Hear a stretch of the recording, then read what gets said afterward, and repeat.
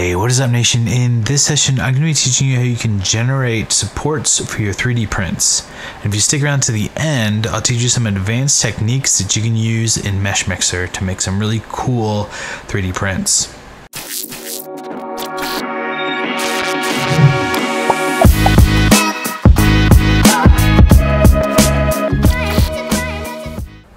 Right, so uh, what we're going to be using today is a software called Mesh Mixer. So if you go to meshmixer.com, uh, you can come down. There's on here on the left side, uh, depending on when you're doing this and, and if they've redesigned their website, there's a little button up here and there's a button here. just click that, um, and then you can pick the uh, installer that you want. So uh, super easy. And then uh, you just want to go and open up Mesh Mixer.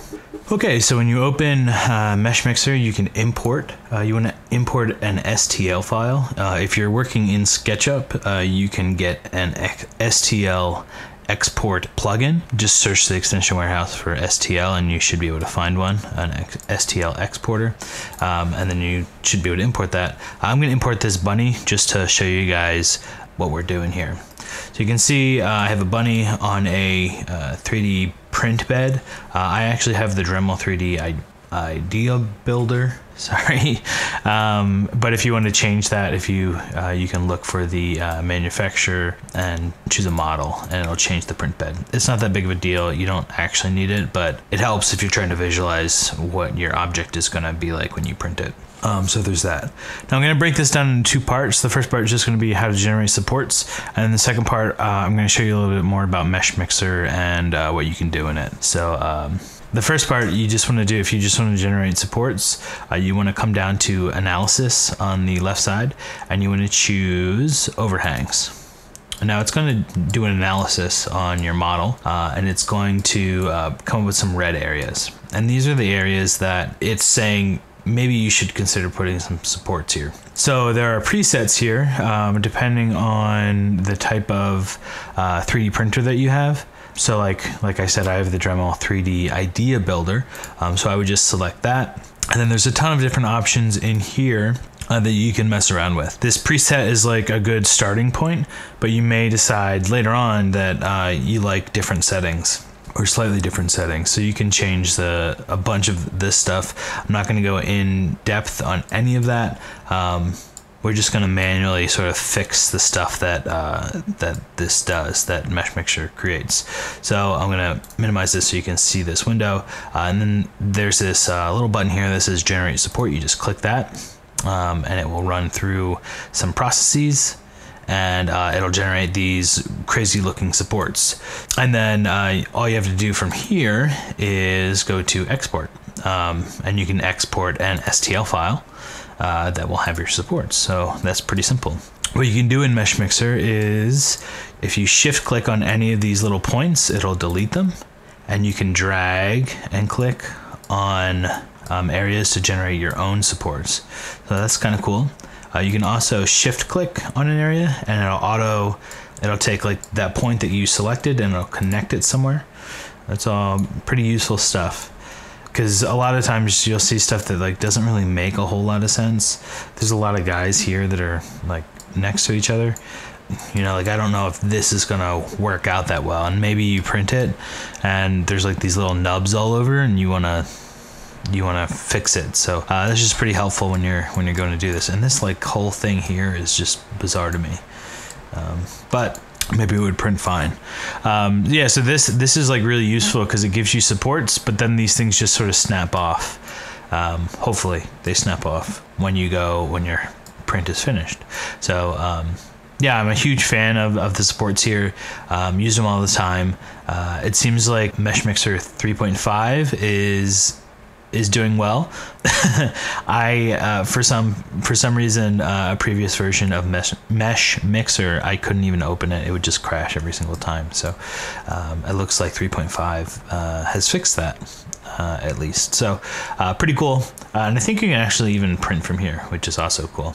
Um, so we're just gonna remove these supports here, and I'm gonna show you some cool stuff uh, that you can actually do with Mesh Mixer.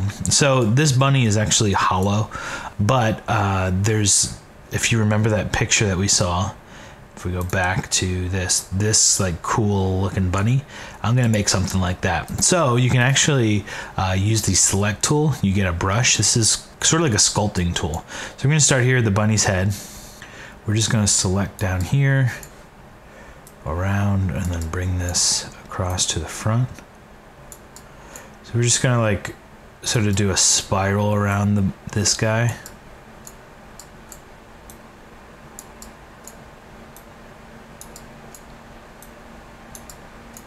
So now we have that guy, and then all we have to do is delete. So hit the delete key there. Now it's all, it's really jagged. Uh, so you can actually um, sculpt. There's a brush here called Bubble Smooth. So if I, the strength is okay, I just want the size to be a little bit bigger. And actually just smooth this guy. So we're just gonna go around and we're gonna smooth this edge. And like I said, you can see that the inside is hollow for this. But this is just like really cleaning up all that stuff. And there's something like really satisfying about it too. I don't know what it is. Just like painting over and it does what you want it to. Okay, so um, that looks pretty good. I probably should have selected things a little bit differently. Like this little, you can still do it. This little guy is weird to me. So we're just gonna change this size down.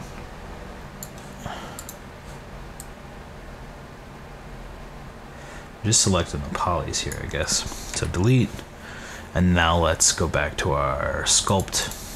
We'll just smooth this out.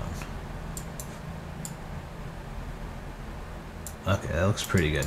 Okay, so um, we have this guy, but it's just like one face. So what we can do is we can actually select everything. So I just hit Control A there to select everything.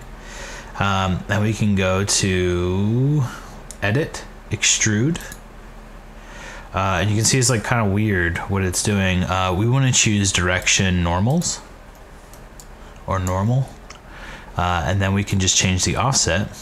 You can either go to the inside or go to the outside and add a thickness.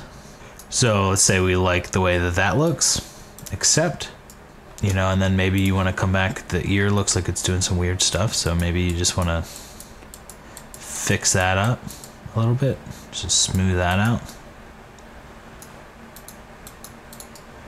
Uh, but you have this really cool uh, bunny, and then you just go. Um, since this is would obviously be hard to 3D print, uh, you just go to overhangs and you generate your 3D uh, supports.